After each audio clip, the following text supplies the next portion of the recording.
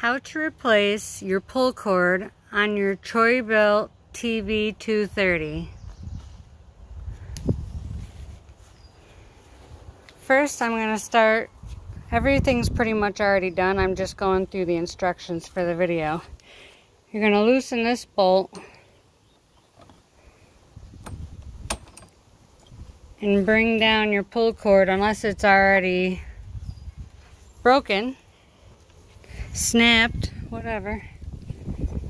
Then you're going to use a Phillips head screwdriver. Well, you're going to need a Phillips head screwdriver, an 8 millimeter socket, and a 10 millimeter socket. And if you want an extension, but I did everything without an extension and I used deep sockets. Anyways, you're going to take out these two Phillips head screws. And you're going to set this aside. Then you're going to take out three bolts. They're all 8 millimeter bolts. There was one here, here, and here. On the side, there's two bolts. There's one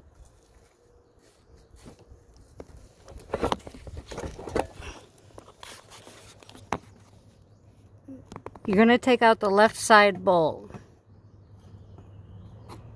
The right side is just like a heat shield or something. After you get that fourth bolt out, you're going to take the gas tank off and just set it aside. Hopefully you didn't just fill it up, which is not a big deal if you have a tight cap. Then you're going to take off the cover. You're going to get your 10 mil socket. You're going to remove these two bolts right here and right here. Hopefully you can see that. And on the back side, there's two more bolts. Right here and right here.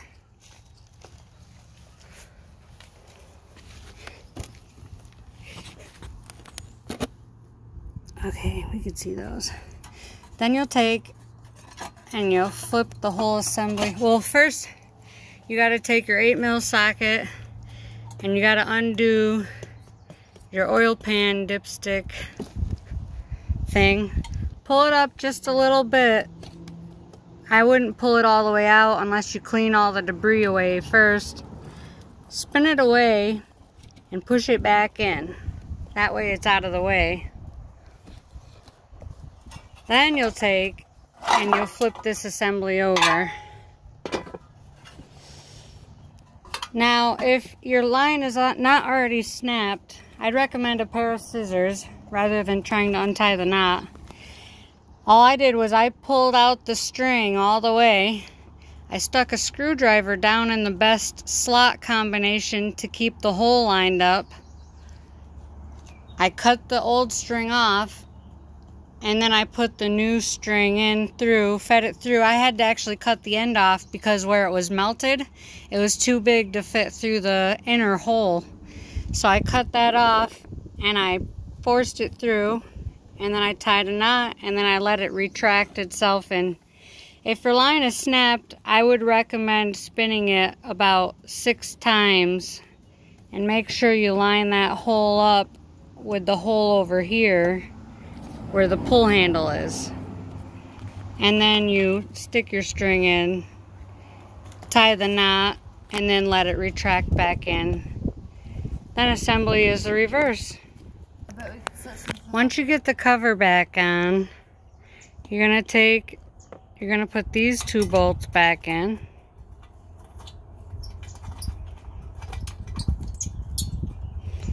I start them by hand.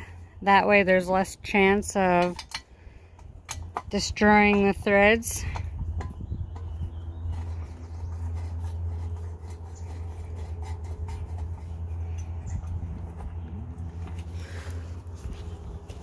And I'm going to hand thread these two bolts in.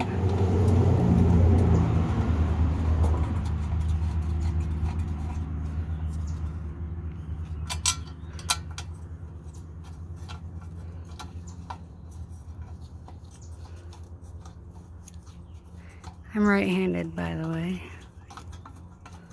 Just in case you were wondering why I suck at this.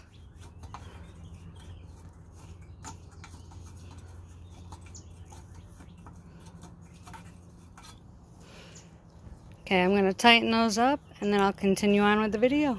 I roughly made sure to just hand torque them all about the same.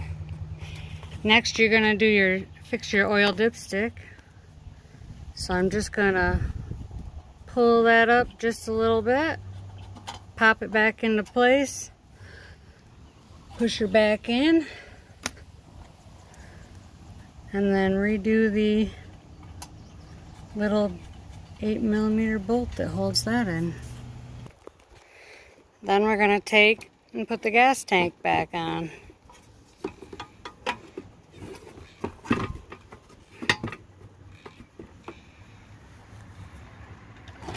I'll be back.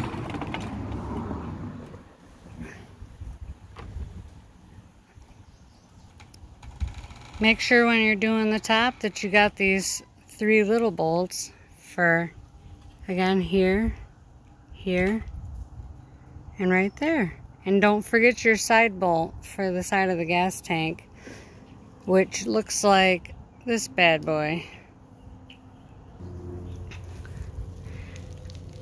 Down here is the gas tank bolt that you need to take out right there.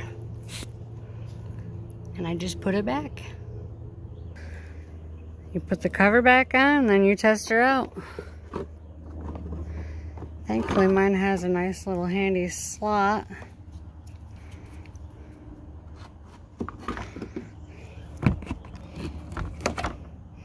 Others, you'll have to feed the handle through the hole.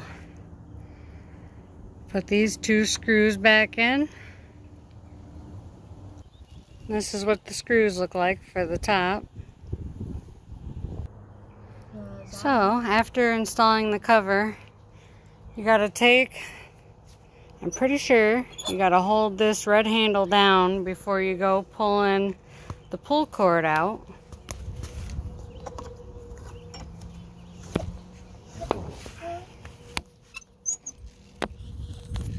To attach it back up here. Woo!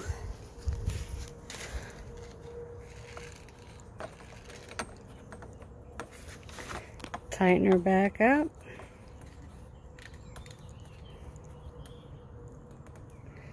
Give her a yank.